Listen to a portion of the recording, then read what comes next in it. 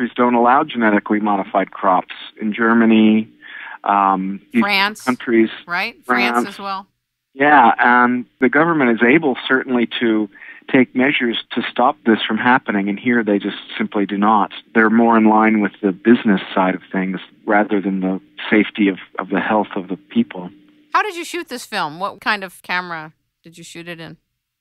We used a Sony high definition video camera that shoots on tape. It's called a Z1U, and it's what they call a prosumer, which is kind of that blend between professional and consumer camera.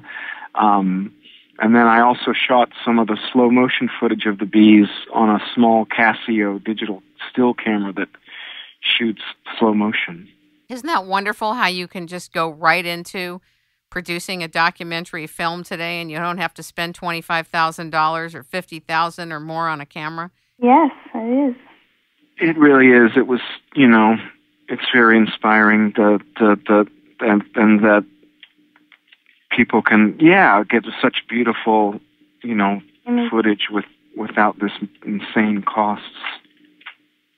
How is the film doing? Where is it showing? And I noticed you have a wonderful model you're using to get the word out with people showing it and screening it. Talk about that.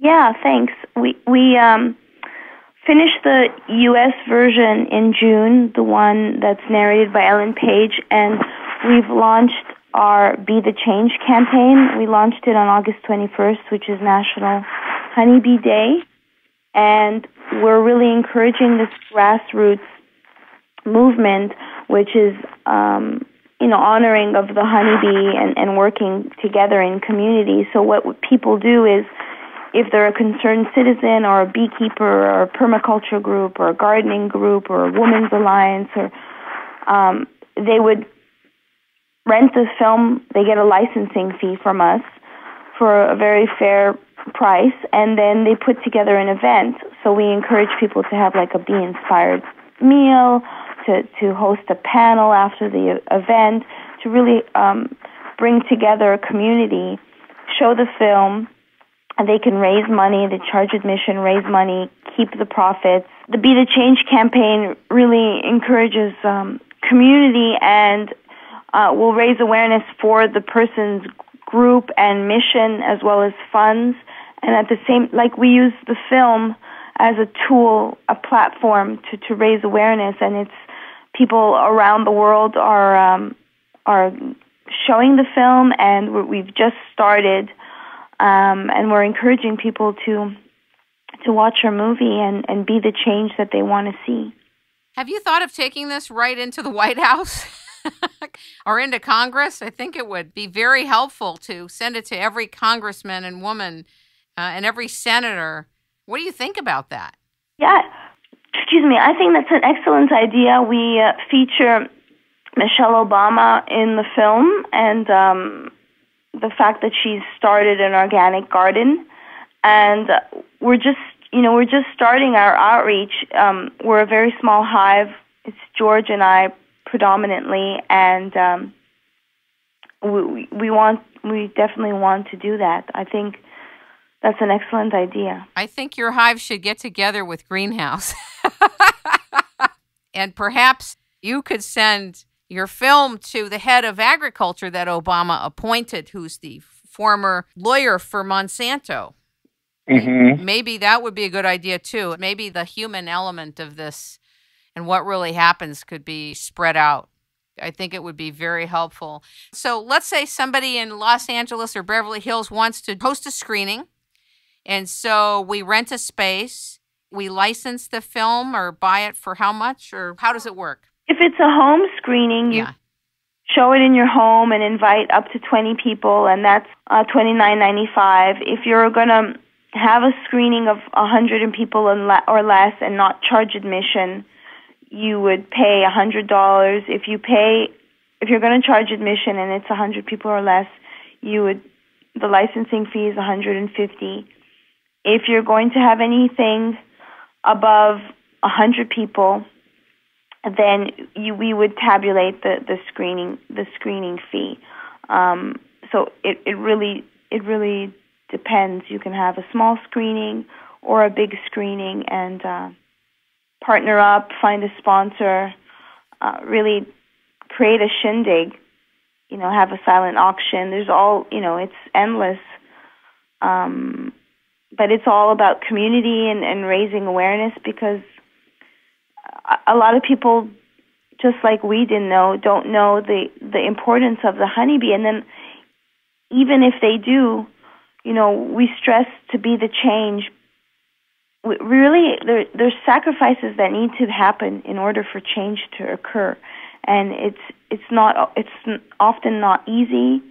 Um, but you know, like we're all in the kind of like nine to five uh, rat race, and people will go to Trader Joe's, and you have to make an effort.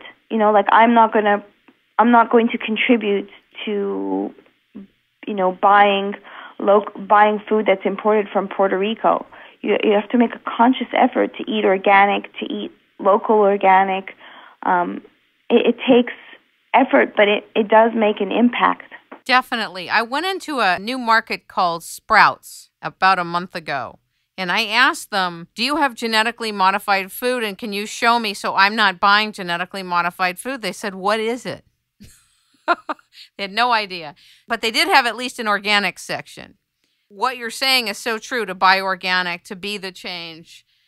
I notice you also talk about bee friendly gardening on your website at vanishingbees.com. Talk about that.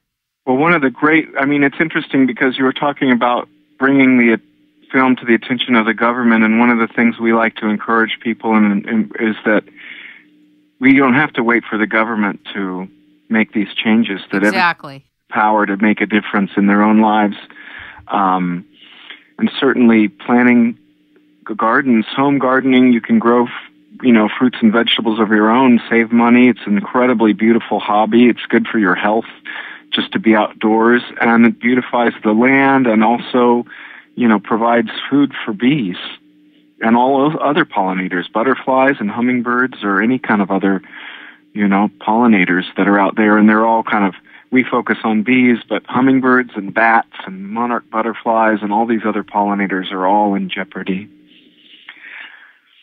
Um, and another little piece just on the uh, home screenings, one of the wonderful things about it is that instead of just going to sit in a movie theater with a bunch of anonymous strangers, you know, these are people who are concerned, and these home screenings and event screenings, this grassroots screenings, brings people together in a way that connects them um, and can allow people to discuss making a difference and doing something in their community. I think that's the most important thing. And by the fact that they're arriving, they're expressing a mutual concern. And there's a receptivity to learn, which I think is critical. One is to acknowledge that there may be something amiss and then put yourself in a position to receive new information. I love that about the model also and then for people to be involved that are connected to what's happening and are honoring their connection I also wanted to clarify that the reason I talked about bringing it to government wasn't so much because I felt the government would do anything one way or the other, but rather I felt that it was critical to hold the government accountable for having the knowledge and not being able to say, we didn't have the knowledge. Well, we have the knowledge and we're still going ahead with whatever we're doing. So it's more to transfer the accountability and to potentiate doing something about it, but not necessarily waiting. But I really appreciate your model. I wanted to bring something up that I, I recently showed the film in Montreal to a couple of people, and um, the, after the fi- after the film, one one person was very distraught and uh, really didn't think on a small scale any it would make any difference, and and I wanted to. I encouraged him and and that it all we can do is take care of ourselves and our immediate community. We, we, we can't, you know, we can't have these control issues that and question the bigger scheme of whatever is happening in in the universe. But we can make a difference in our lives, and that does count. And change occurs one step at a time. And that even though the honeybee population is collapsing, our monetary system is collapsing, all these different, you know, archaic systems are collapsing. Who is to say that that's not a good thing. And unfortunately, most of us humans change when a calamity occurs in our lives